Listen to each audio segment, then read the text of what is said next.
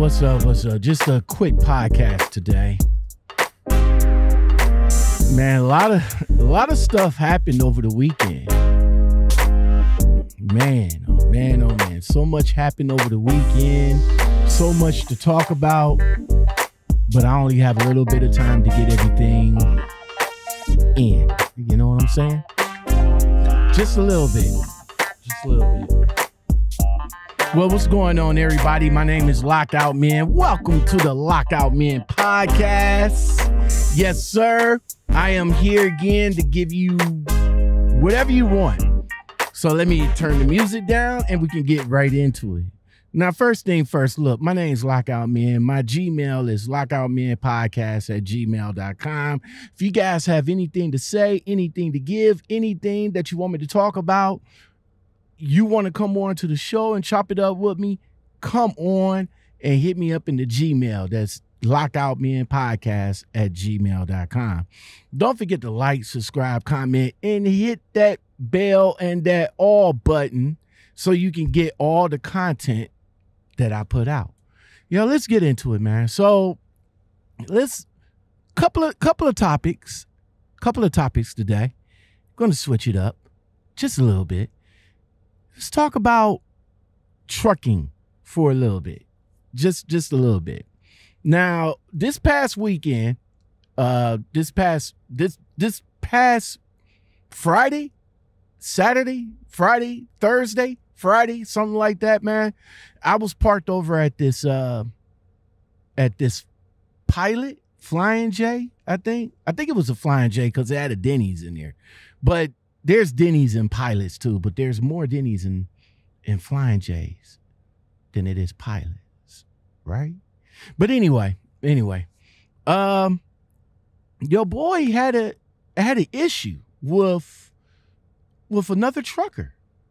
I mean, I wouldn't say it was an issue. It was it was probably a non-starter, but I mean, it goes to the question that was asked in the Facebook group why truckers act like assholes these days and times.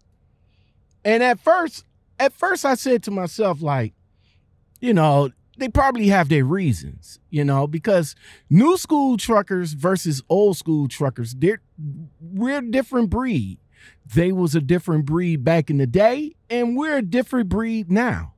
You know what I'm saying? Back in the day, it, it was more of a brotherhood, you know, more of a trucking family of sorts. You know what I'm saying? Hey, brother, uh, you need some help over there? Or if you broke down, I'll make sure you get home. Or if you, or, you know, is this a good place to eat? Or just idle conversation like, yo, how's your day going? Yo, it's going solid, you know, yada, yada, yada. But today's truckers, mm-mm. What you looking at? Uh, why why you this and why you saying hi? Or, or if you know if you need some help i don't need no help. So i was at the i was at the flying j and i was on the phone. Now mind you i was outside and maybe i was a little loud you know while being on the phone. And that's understandable but i didn't want to be in the bathroom talking while I'm, I'm, I'm on the phone you know what I'm saying? So I was outside the bathroom, minding my own business, talking on the phone. So this, unfortunately, uh, this Caucasian gentleman, okay, he comes out the bathroom. And as he's coming out the bathroom, he's like literally eyeballing me, like looking at me like, so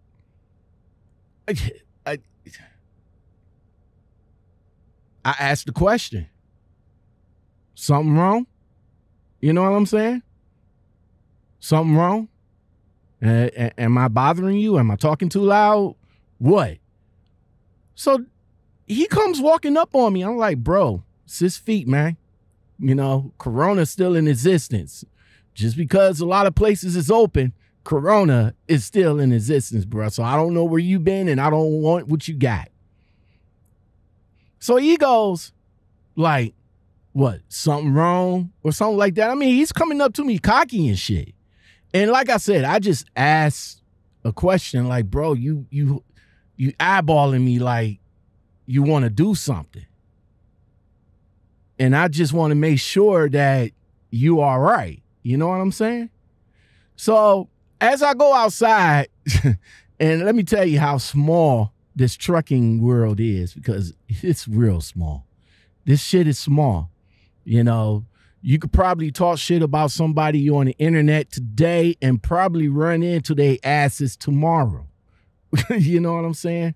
But ironically, this motherfucker was parked right next to me. So, of course, I'm coming outside. I'm still on the phone talking to, you know, talking to my people. And I'm, you know, walking up to my truck and lo and behold, this motherfucker raised down the window. Like, I'm like, bro, you all right, man? I mean, like, yo, you you something on your mind? Like, really? Is there something on your mind? So I, I don't know what, what today's truckers are. I, I don't know. I don't know the mindset of t- today's truckers, man. You know what I'm saying? The mindset of the old school truckers back in the day is totally different than the mindset of the new school truckers of today. You know what I'm saying? I don't get it. I don't get it and I don't understand it. So uh, let's let's keep a line with this with this trucking content, the trucking topic right quick. So uh I did an interview with uh with DS DSX DSX trucking. Good ass conversation. I can't I can't wait till that uh interview drops for you guys. But Jay Rich did a did a a uh, was it an Instagram or was it a YouTube? I think it was a YouTube where she came on and talked about the conversation she had with him. And the topic was pop up drivers. pop up drivers. He asked her, was she a pop up driver? And she was like, what the fuck is a pop up driver? And she he was like, well, it's these drivers that just pops up out of the blue. Like every time you turn on YouTube, there's a new driver that just pops up out of the blue. And she was like, well, I don't know if I'm a pop up driver, but I've been driving for a while.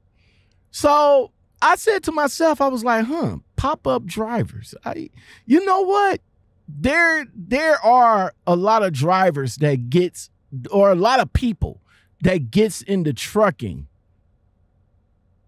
but maybe not for good reasons. Now, again, back to the old school versus new school. You know what I'm saying? Old school drivers got into trucking because it was in their blood. Is it in your blood though? You know, now I can understand if you grew up around trucking. Your father was a truck driver, your father's father was a truck driver, and his father before that was a truck driver. Or you grew up in in a trucking business. Your your your family owns a trucking fleet and you just happen to grew up in it. And that's pretty much all you knew. You know, you went out with your father when he when he when he goes out. You know, you're five, six, seven years old, and you're hanging out with your father, and you take pictures in the cab and all this good stuff. So, I guess it is in your blood if it's like that if you grew up around trucking or you you inundated into trucking? Well i got into trucking because my father drove. And his father drove before him. So they had a passion for it. They had a it was they had a mentality a trucking family mentality for it. Not not today's truckers though. Not not today's truckers. Today's truckers they they they are like I said before, they they are a totally different breed. They they are. It's a, it's a totally different breed right now. So are I do I agree that there's a lot of pop-up drivers? Yeah, I, I agree. I agree that there is a lot of pop-up drivers. It's just a lot of people that's getting into this industry just because they need a job. They need a job. Listen to what I'm saying. Let's listen to what I'm saying. They need a job. All right. These times, right now, right now, right here, is totally different than what it was back in the day. Back in the day, there was a lot of there was a lot of factory work. There was cars, uh, car factories, uh, uh, postal service that was hiring, and you uh, retail was booming. Uh, and you you know what I'm saying? I mean, I grew up in the 80s, in the 90s. There was a lot of grocery store chains everywhere and it was easy to, to apply and get a job. And luckily, if you was lucky lucky enough, you can retire from said job. But you can't do that today. You can't do that today. There's all the retail stores that are open, they're, they're just small shops and they're so small that they're not hiring people like they used to. And even the big box stores is not even hiring like they like they like they used to. You know, my son's girlfriend just got a job working for working for a grocery store at minimum wage minimum wage, part time. She's part time, but she's part time because you know she's a little entrepreneur herself. But she just need the extra money. But just imagine for all other people that's coming into this field, that's coming, that's coming out to work, and they look at it like, yo, where where to go, where to make this kind of money.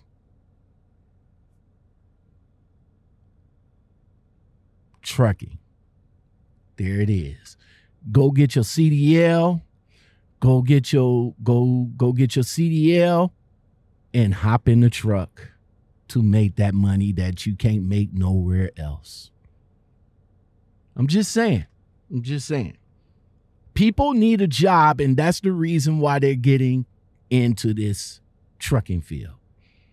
You got people that's coming out of school every week, and you got people that's going to trucking schools through company paid schools every week. You got trucking companies every week that's that's trying to recruit new drivers every week. You got Facebook, Twitter, YouTube, you got all these companies that's going social media to bring in the people that need jobs to make that kind of money that that they can't make nowhere else. Where else can you make about a thousand a week? Where else can you make about fifteen hundred a week? Where else can you make uh make about nine hundred a week? Where? Where else? Where else can you make 50, 60, 70 cent a mile? Where else can you make that kind of money? Now, when you get into this field, now, this field is not for everybody. I'm just saying, it's not for everybody. There's a lot of stuff that you got to put into it in order to make it through. Number one, you got to keep your DAC report clean. That's number one because a lot of companies, not a lot, not to say a lot, but a lot of companies is looking at that DAC report. And if it ain't clean, you ain't working. You ain't getting a job. You got to keep your MVR clean. You got to keep it clean on driving on the CMV side and keep it clean on driving on the on your on your pass I mean on your personal side. Because if you get a ticket on your personal side, then you got to let the company know that you got a ticket and that's going to interfere with the CSA. I'm just saying. A lot of a lot of drivers a lot of drivers out here just don't just don't care anymore. They don't care about the industry. They don't have a passion for it. They just here to work, make their money and go home. They don't care. You know, now the old school drivers, they care about the industry. They want to band together and make the industry better. But you got to get the people that don't care to come along with you. And if they don't care, then that's going to be hard. Too many people is getting in, into this trucking just for the sake of just for the sake of trying to make money. And I understand they trying to make money, they trying to, you know, take care of their families and all like that. But again, where else can you make the kind of money that you're making in trucking? That's why a lot of people do it. You got a lot of people that come in and say, yo, trucking saved my life, trucking this and trucking that. Yeah, yeah. But you probably might would say the same if you would have got into a good job, say, uh, Ford, GM, Chrysler. You know, if you was working in the factories and stuff like that. Uh, Nestle, you know, because when I got into Nestle, I said Nestle saved my life. I started working at at Nestle making $15 an hour. And I was there at Nestle. Well, technically, I worked at Nestle for two and a half years and been on been on leave for about another two years. And when I finished out, I was close to twenty dollars an hour. And I said back then, Nestle saved my life. But then I got back into my road service, and then I said, road service saved my life. You you see where I'm going with this? Now, when I got into trucking, I never said trucking saved my life. You know what I'm saying? But for a few of you out there that has said trucking saved your life, I'm glad that it did. Because a few of you out there have came on and said, you know, y'all was y'all was y'all hit rock bottom and y'all didn't know what to do. Y'all ain't know where to make that kind of money. But you found it. It's here. It's now. It's trucking. But it's too many of y'all out here. I I really hate to say that it's too many of y'all out here that's that don't need to be out here. All right. Now, don't get me wrong. Don't get me wrong. you guys don't, some of you guys really don't need to be out here, though. All right. And this is why.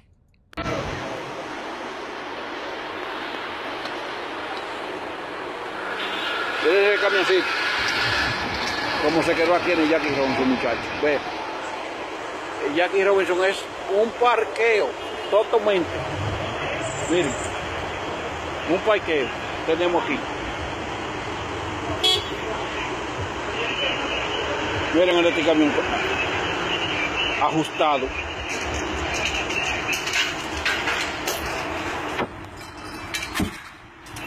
Vean los azules. Voy a escupir un azul de eso.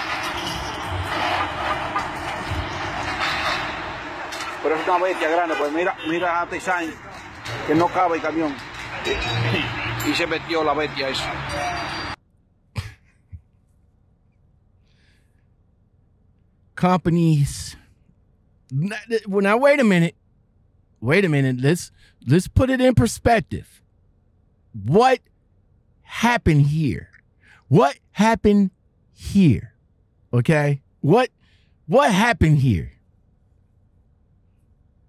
Maybe you got on the wrong, maybe you got on it and you didn't know. But from what I understand, is that on that little thoroughway is no trucks, period. And there's a lot of signs that says no trucks, period. But the driver of that CR England truck, I don't know. I don't know. You see how that traffic is backed up though? How they going to get that truck off? I mean, wow. They're going to have to back traffic literally off so they can get that truck turned around and get it off the thoroughway. Trucking is not for everybody, y'all. You got to pay attention out here. bridge not if there's a sign that says low clearance and there's a lot of them in Chicago, if there's a bridge that says low clearance, yo, don't try, don't take that chance. Don't take that chance. It's not worth it. See, right now that brother is going to get a ticket. He might lose his job. And that's going to be on this DAC report. That's going to be on his DAC report.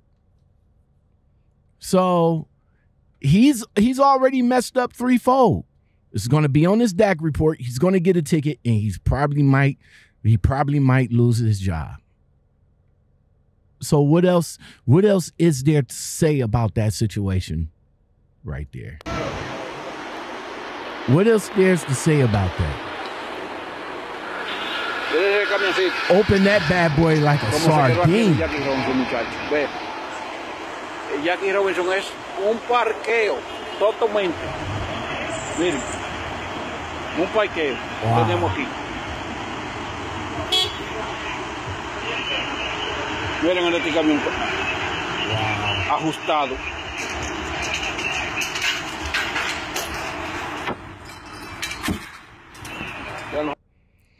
How how is he gonna how can you explain that? You you really can't. How you gonna explain that to safety? I I, I don't know. I, I really like to be the fly on that wall. All right, so before we get on up out of here, man, there's another there's another topic I want to touch on. The state of emergency in in the world today is is ridiculous. And I, I just want to bring up the fact that there's a lot of people that's over here, that's over here rioting, that's over here looting, that's over here quote unquote protesting and stuff like that. What I want to know is, you know, everybody, everybody's over here protesting for for police brutality, and I get it. I got it. I understand it. You know, Black Lives Matter.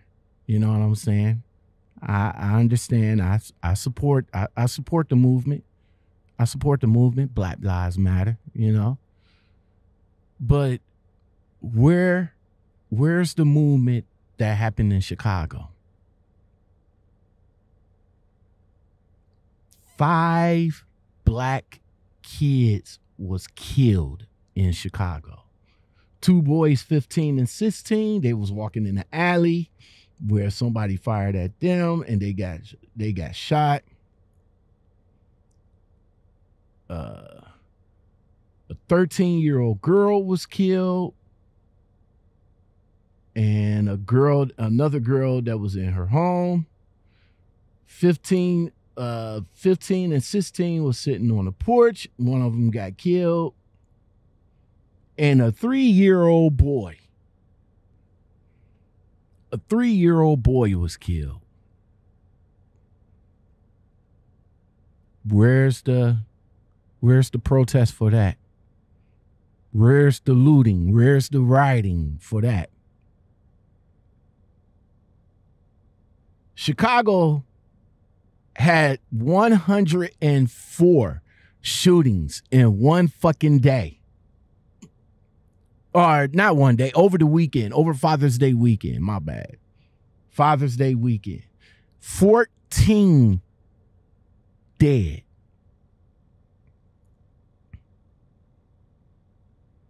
And five was kids.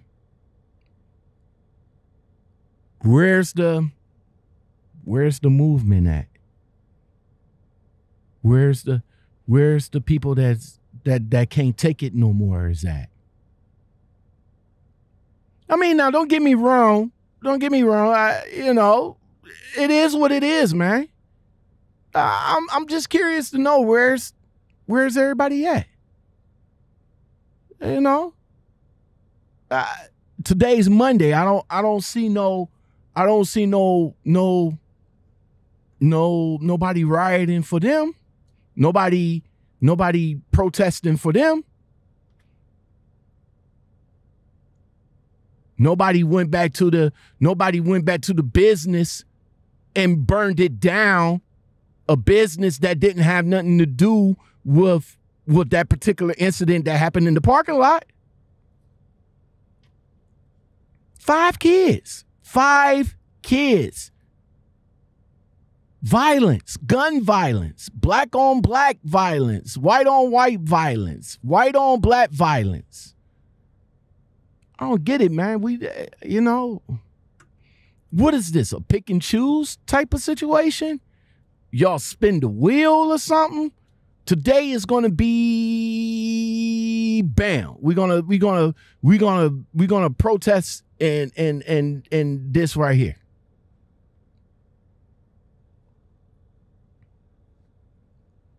I don't know. I don't know what to say. Where is the justice for this young lady right here?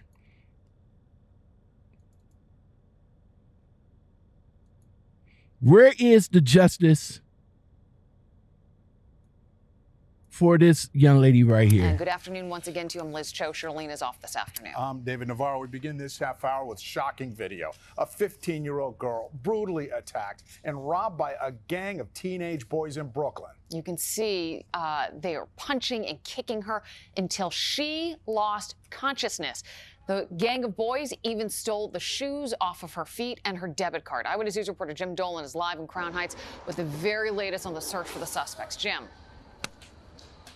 The Where's the outrage over that? Where where is the outrage over that? You know, where's the outrage over that? A young girl got got brutally beaten, unfucking content, uh, content, conscience let, let's see it again without me being in the way.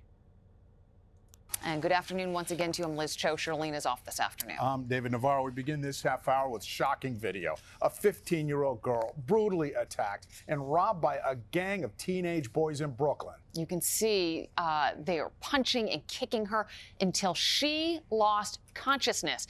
The gang of boys even stole the shoes off of her feet and her debit card. Eyewitness News reporter Jim Dolan is live in Crown Heights with the very latest on the search for the suspects. Jim.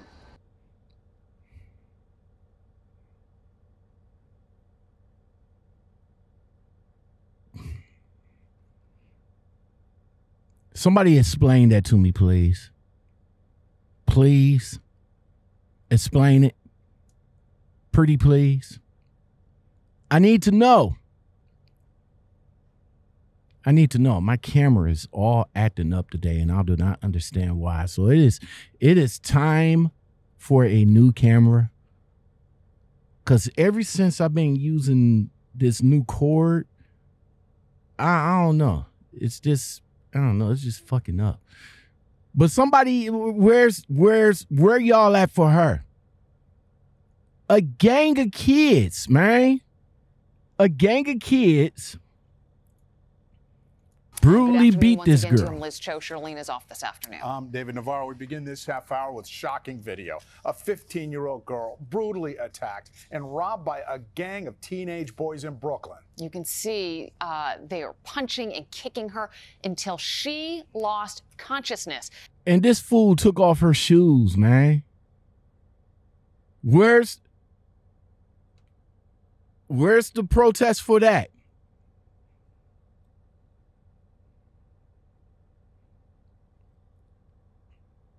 Look, we need to do better. We need to be better. You know, we need to we need to be better. We need to come together, you know, people people as a whole, the the whole trucking community needs to do better and the whole community that's outside of trucking, we need to do better. We need to do better. Well, all right, that's it. That's it. I'm done. I'm done. You you guys like content like this and more. Don't forget to like, subscribe, comment, share, and hit that bell and that all button for more content like this. Yo, if you guys want to get at me, just get at me in the Gmail. If y'all have any news or anything like that y'all want me to peep out, hit me in the Gmail. Lockout Men Podcast at gmail.com.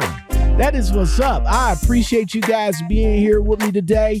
Yo, you guys have a blessed day, and we about to get on up out of here. Y'all stay fresh for 2020. Peace.